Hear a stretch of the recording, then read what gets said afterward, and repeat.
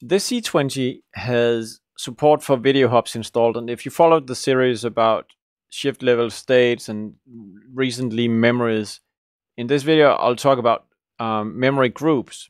And memory groups really makes most sense if you have buttons that will assign values to memories. So I changed how the configuration of this unit has been used so far in these videos to one where we just have basically routing input 1, 2, 3, and 4 to the output selected by memory group A. And then these buttons will put the value 1, 2, 3, and 4 into memory group A when I press them.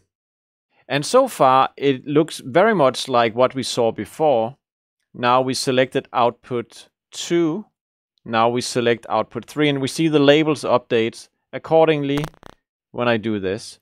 We can also confirm with the software, the video hub software, we can confirm that now we have output 4 selected and I press this button, we see the route is changing for output 4 as I press the buttons. So what is the big deal about memory groups? Well, whenever memory groups are used, they contain the possibility of adding multiple values to the memory. So when I press and hold this one, ha, you see now we have, it says multiple. So we have multiple destinations for whatever we press down here. Currently we see that in uh, on output 1 and 2, we have these two inputs routed to. Let's um, press this one and then if you look at the video control or video hub control software, we should now see a change to both output 1 and 2. I press the button now and we see the change. It says RPI 1. I press another button and you see now synchronous output 1 and 2 are routed. If I press and hold this one, no, nothing happens, but I'll come back to that. So just a single press will select it. If I press and hold, it's going to add it to the group. And now, as I press it, it's going to be output 1 3, and 4. So very useful feature, very neat. Let's look at how this was configured. So back to the configuration page that I used, and these four buttons, they have basically been assigned setting values to memory group AA. The function set add was selected. So in case of a short press, it just sets the value, otherwise it adds it to the group if you use toggle add, then what you get is that you can keep it pressed and then deselect something again. You can also just add or remove, and you can also have a button to clear it all.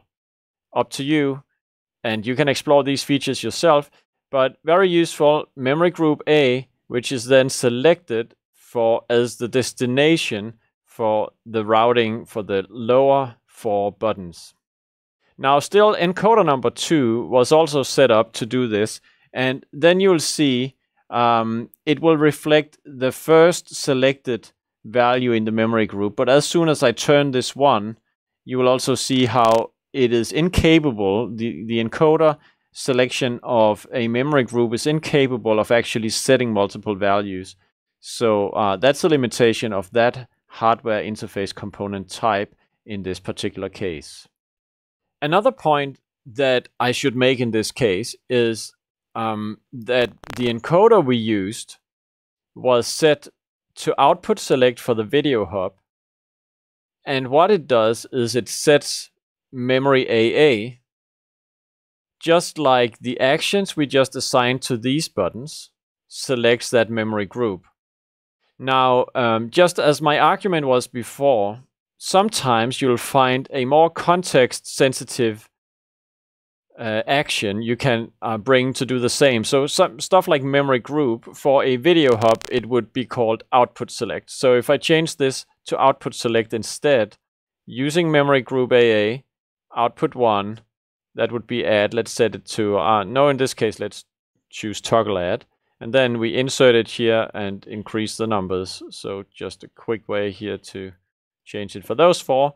We save and recompile the firmware and we'll see that uh, the advantage we get out of using the uh, video hub output select is that we get a better labeling out of the box in the displays because right now what we see is memory group A is the title of those four buttons and I think we can do a little bit better using the uh, particular output select action on the video hub.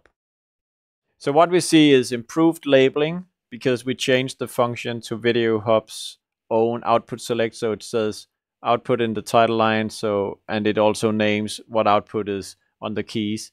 Uh, what I additionally did was to choose the toggle select mode, which means that as I press and hold, yes, it selects, but it also, as I press and hold, deselects again. If you like that kind of feature, it's a small variation of the set add function. So that was memory groups.